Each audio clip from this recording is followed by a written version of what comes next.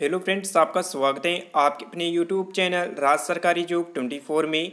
Friends, आज के इस वीडियो में बात करने वाले State Bank of India clerk admit card 2022 के बारे में, जो कि फ्रेंड्स, आपने एसबीआई की न्यू न्यू वैकेंसी आई हुई थी। Clerk, junior associate, customer support and sales vacancy के लिए आपने अप्लाई किया है तो उसका official admit card official website पर आ चुका है।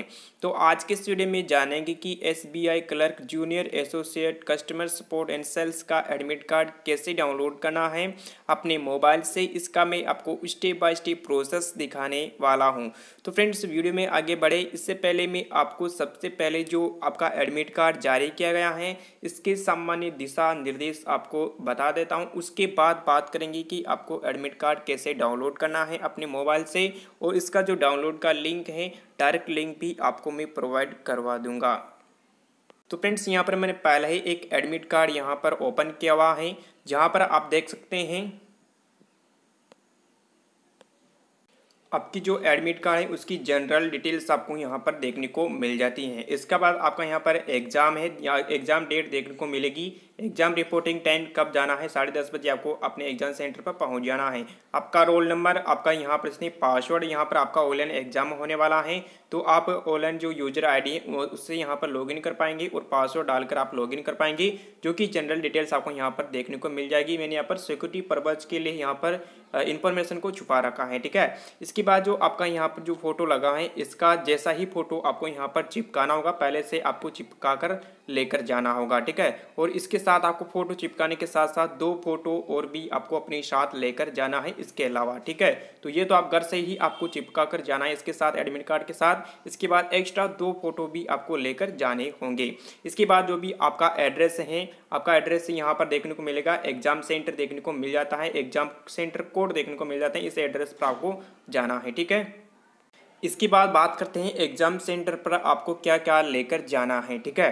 तो एग्ज़ाम सेंटर पर मैंने आपको बता दिया, एक तो आपको दो फ़ोटो आपको लेकर जाना है, फ़ोटो दो लेकर जाना है, एक आपको यहाँ पर वैलिड फ़ोटो आईडी लेकर जाना है फ़ोटो आईडी में यहाँ पर हो सकते हैं आपका पैन कार्ड पासवर्ड या फिर ड्राइविंग लाइसेंस ठीक है? Permanent driving licence voter card या फिर आपको यहाँ पर फोटोग्राफ के साथ इसमें आपकी फ़ोटो होना चाहिए। बैंक डायरी ले जा सकते हैं।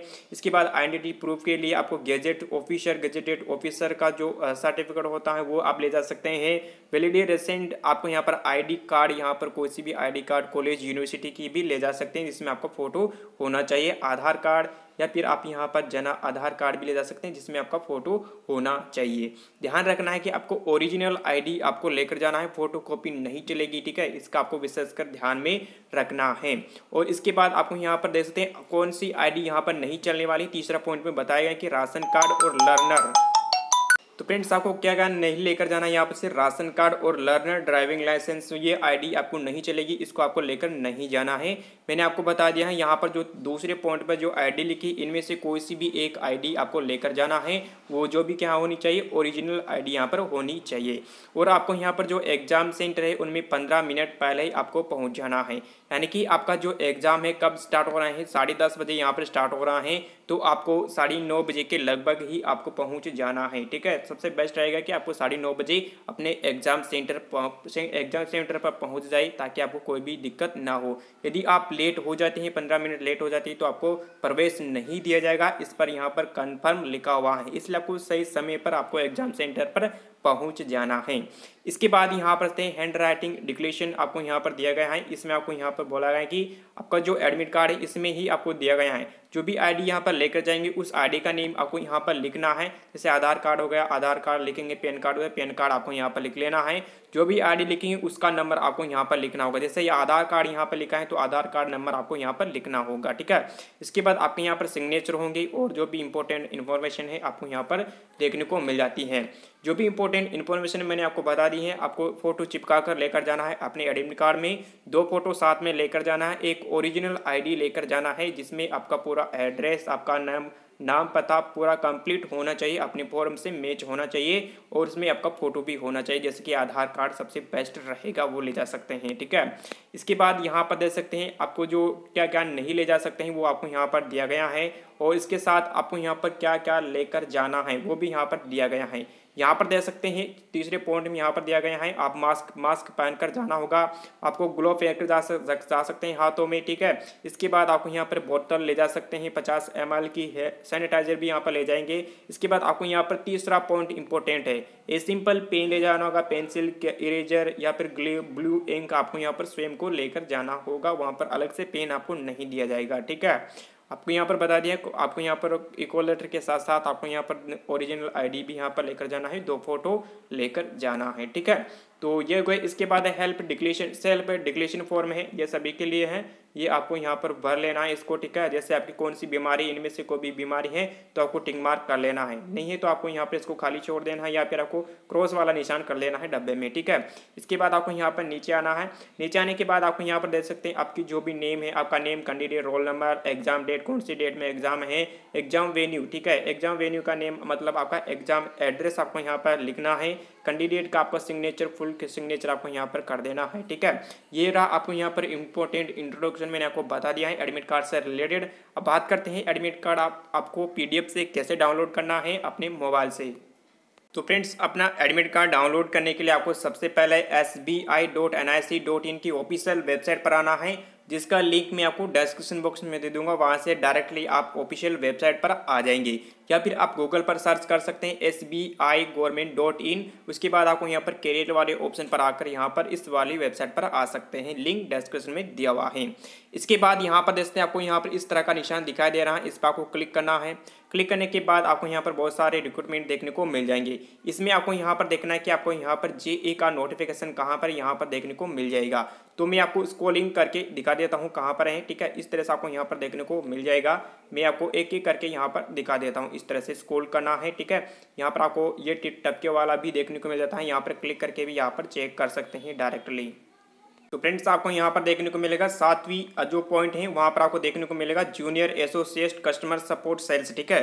और इसमें आपको ये भी देखने को मिल जाता है, यहाँ पर मैं आपको जूम करके बता देता हूँ, ठीक है? तो फ्रेंड्स, आपको यहाँ पर देखने को मिलेगा, ठीक है? एग्जामिनेशन ई को लेटर डाउनलोड ठीक है? इसमें आपको सिंपली क्लिक कर देना है। जैसे फ्रेंड्स यहाँ पर क्लिक करेंगे तो आपके सामने नया लॉगिन पेज यहाँ पर ओपन हो जाएगा, जिसमें यहाँ पर जैसे recruitment of junior associate customer support sales ठीक है? एडवर्टाइज नंबर देखने को मिल जाता है।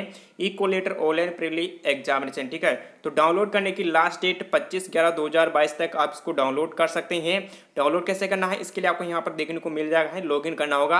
हिंदी या इंग्लिश आपको सेलेक्ट करने, कर लेना है। अपना एडमिट कार्ड कौन सी लैंग्वेज में लेना चाहते हैं, आपको ये सेलेक्ट करेंगे। इसके बाद सेलेक्ट करने के बाद आपको यहाँ पर आपका जो रजिस्ट्रेशन नंबर है, वो यहाँ पर इंटर करना है या फिर रोल नंबर आ चुका है तो रोल नंबर इंटर करेंगे, ठीक है? आपके पास आपका रजिस्ट्रेशन नंबर होगा, आप भूल चुके हैं तो आपको ई मेल पर मिल जाएगा, वहाँ पर वहाँ से चेक कर लेना है। इसके बाद रजिस्ट्रेशन नंबर यहाँ पर डालने के बाद आपकी डेट ऑफ़ बर्थ यहाँ पर इंटर करना है। डेट ऑफ़ बर्थ किस तरह से यहाँ पर इंटर करना है, मैं सैंपल के तौर पर आपको बता देता हूँ।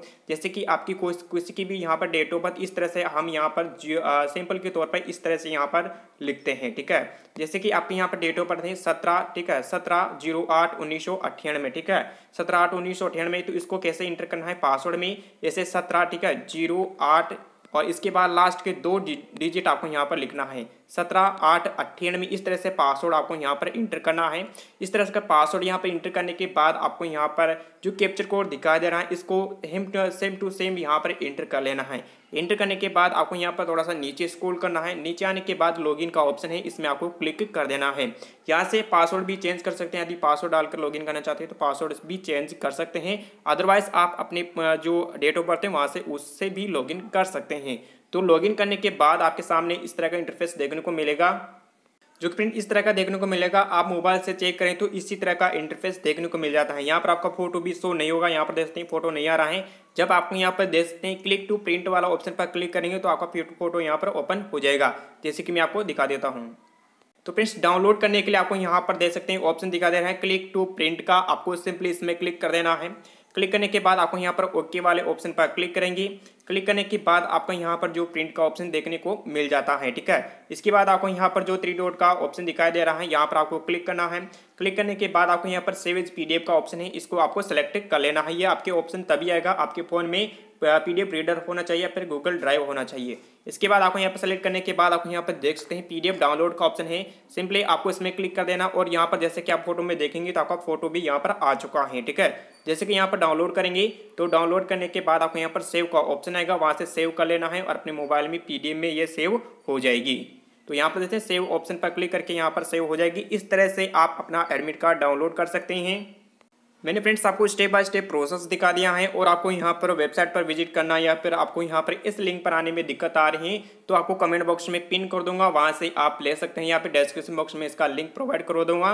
डायरेक्ट लिंक आपको यहाँ पर आ जाएँगे और यहाँ से लॉगिन करके अपना आई कार्ड डाउनलोड कर सकते हैं। वीडियो में जानकारी आपको अच्छी लगी, वीडियो को लाइक करें। ऐसे ही लेटेस्ट अपडेट्स पाने के लिए चैनल को सब्सक्राइब करके बेल आइकन को ऑन कर लेना।